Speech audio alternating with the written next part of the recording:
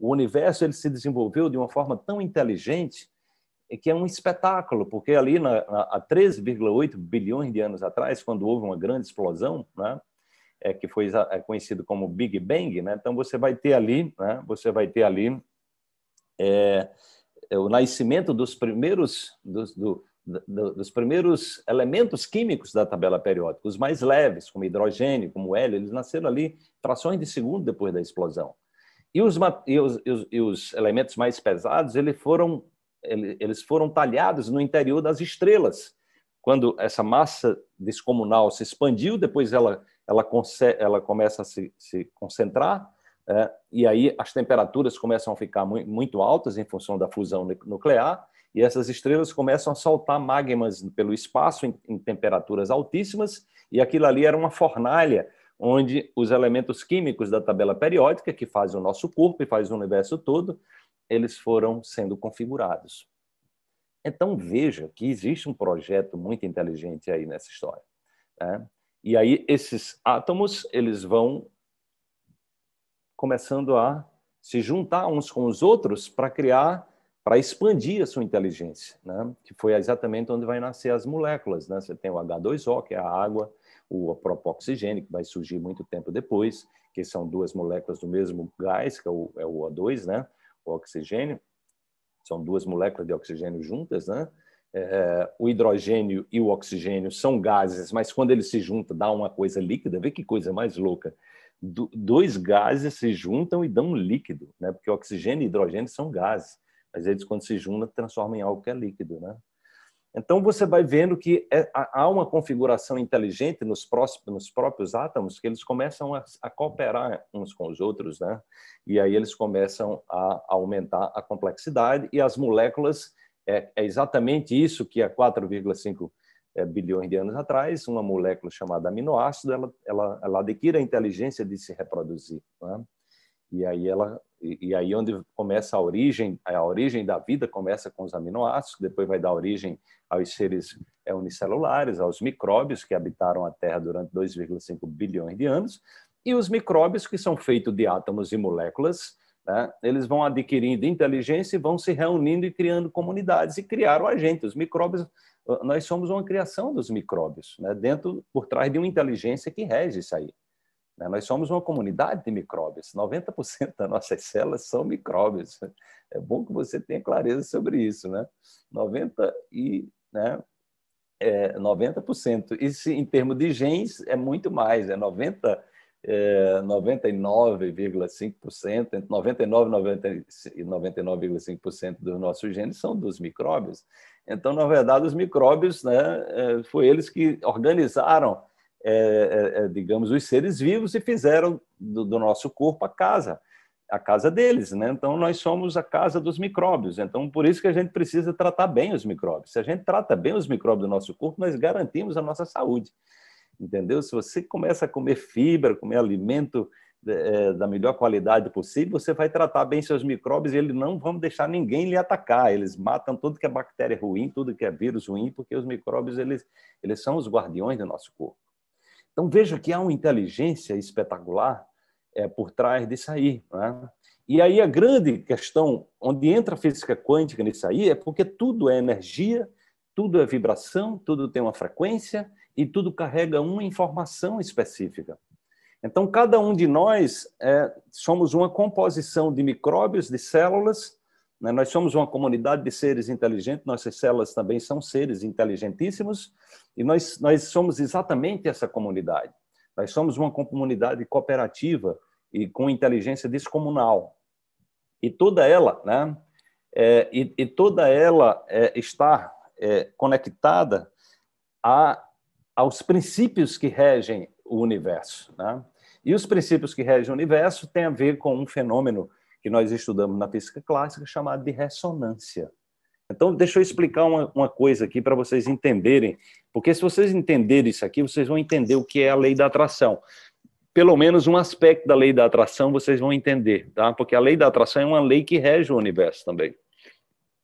É o que nos conecta às experiências que a gente vive no dia a dia, tá? Então, presta atenção uma coisa aqui, ó. Essa corda, essa corda aqui mais grossa é a é Mi, Mi é a corda Mi. Então, tá vendo que ela está vibrando, né? É Mi. É... E essa corda de baixo, a, a quinta corda, é o Lá. É o Lá.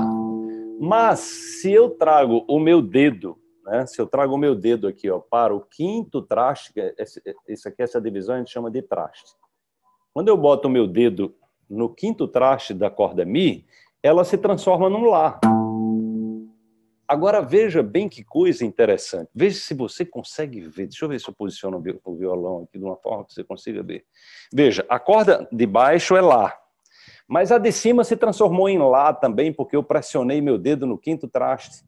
E o que vai acontecer aqui é que quando eu tocar na sexta, que agora é um Lá, o Lá de baixo vai ouvir e vai se manifestar, vai entrar vai começar a vibrar sozinho, sem eu tocar na quinta corda. Eu vou tocar na sexta, mas a quinta vai vibrar sozinha. Tá dando para perceber que tá vibrando, gente? Deixa eu ver, deixa eu aproximar aqui. eu, tô, eu tô tocando numa, mas a, a quinta tá vibrando sozinha, não tô tocando na quinta. Veja que a quinta corda está vibrando sozinha, ela está em ressonância. Tá? Eu toco numa, a outra ouve e disse: está falando comigo. E aí ela se, ela se levanta. A ressonância tem a ver exatamente que tudo na natureza tem uma melodia própria. Tudo na natureza tem uma frequência própria, única. Então, é dessa maneira que nós nos transformamos em antenas emissoras de sinais. Porque aí os estudos foram mostrando que o nosso corpo tem uma configuração toda eletromagnética também. A comunicação entre as nossas células nervosas é uma comunicação né, disparo de cargas elétricas, tá? Então, é, e depois é, é, uma, é, uma, comunicação eletroquímica, né? Então, os neurônios, as células nervosas, quando eu estou falando aqui, os neurônios de vocês estão criando redes de informação, estão fazendo download dos arquivos. Então, vocês, quanto mais atentas vocês, eh, atentos vocês estiverem para o que eu estou falando aqui, vocês vão fazer download e vocês vão criar um banco de dados, e esse banco de dados são sequências de células nervosas que disparam juntas e criam um arquivo com a informação que eu estou trazendo aqui. Tá? Então, a pessoa pode perguntar, e o que o professor Wallace falou? Aí você diz, ah, falou isso, isso, isso. Porque você baixou, você fez download.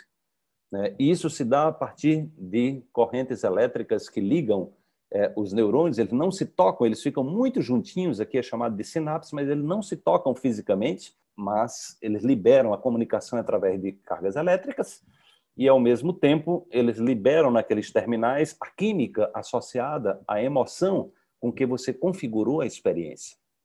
Então, por isso que nós somos seres emocionais. E essas emoções, que são moléculas, né, no caso do cérebro são neurotransmissores, que são soltados ali bolsinhas com aquela informação química, né, elas geram outro tipo de memória, que é a memória química.